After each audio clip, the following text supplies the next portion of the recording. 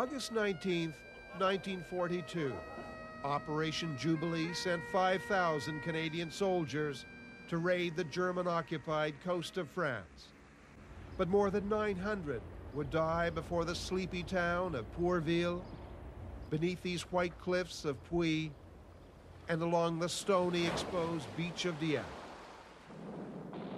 Success depended on a weak enemy, but defenses were murderous. It was all over in nine hours. Now, 50 years later, a return to Dieppe. It is so peaceful now, so serene. But a half century ago, German guns on these cliffs were blazing down on Canadian soldiers below. The waters were choked with bodies, shattered tanks and landing craft line these beaches. Good evening, I'm Brian Stewart. Of all the battles fought by Canadians in the Second World War, Dieppe continues to haunt us the most. So many unresolved feelings. Almost a thousand men died here, more than a thousand were wounded, and 2,000 were taken prisoner. Some historians say it was total disaster, a scandalously ill-prepared mission. Yet others say the lessons learned here and the raid's overall effect helped win the war.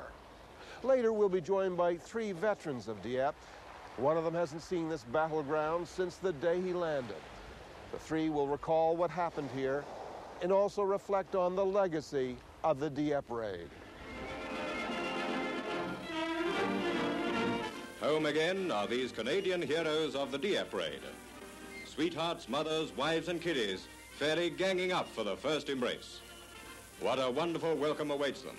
Right now, the world stops still on a railway station. Dieppe was an act of both military and political desperation. In 1942, Prime Minister Churchill needed an attack badly.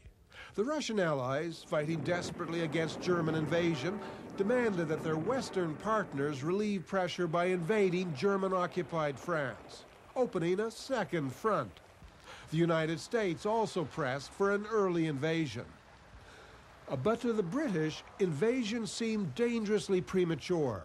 Instead, Churchill hoped to ease pressure and appease these allies by staging a large-scale raid on a German-held French port. He gave the job to the flamboyant Lord Louis Mountbatten, cousin to the king, and the head of combined operations, which conducted commando raids on the Germans. The plan as they rehearsed it on the Isle of Wight was straightforward. Commando attacks on the right and left flanks of Dieppe, along with heavy air and sea bombardment of German defenses.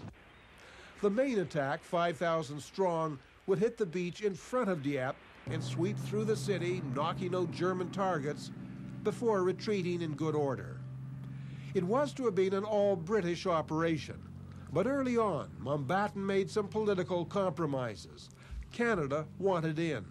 I suggested myself that the commanders and troops of the Royal Marine Division should be used for the whole operation.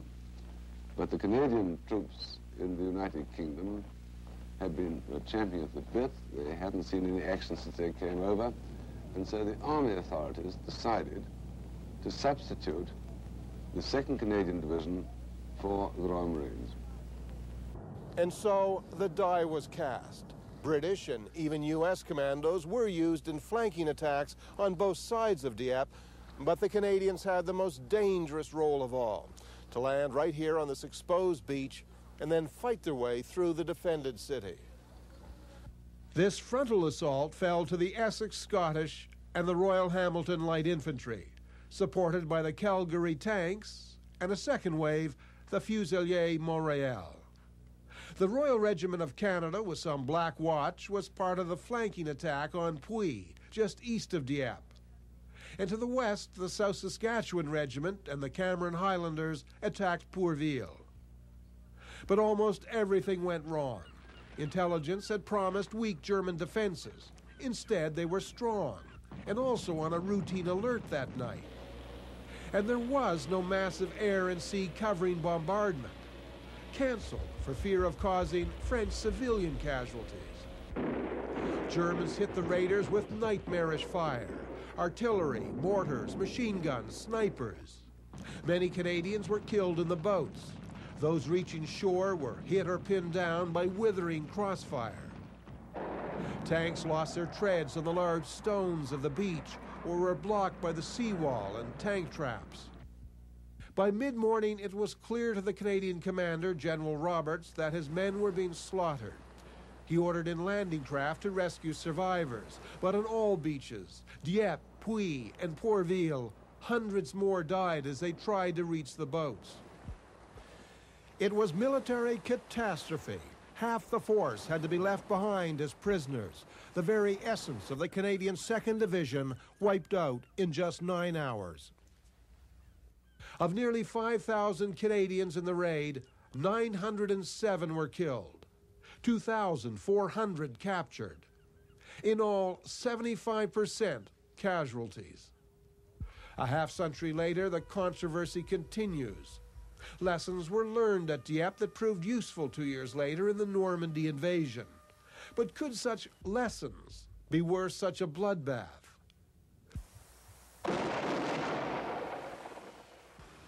Historians and survivors of the raid continue to search for answers, often coming back to Dieppe, now once again a placid and modest resort city and fishing port with little outward sign of the battle that so scarred Canadian history. Dominated by cliffs and headlands, Dieppe strikes a visitor immediately as an almost impossible place to attack by sea. And yet it was attacked by men who can never forget. In this program, we follow the return of three veterans who barely survived those terrible hours. Can you imagine sitting up here Yeah. looking down there at an attacking force and, and sort of grinning to yourself, saying these guys don't have a, It's, a whisker of a chance. which one will I shoot at first? Yeah, yeah. From former German positions, they're able to look down on the beaches and marvel again how anyone came through alive the nightmare of Dieppe. I think they felt very secure.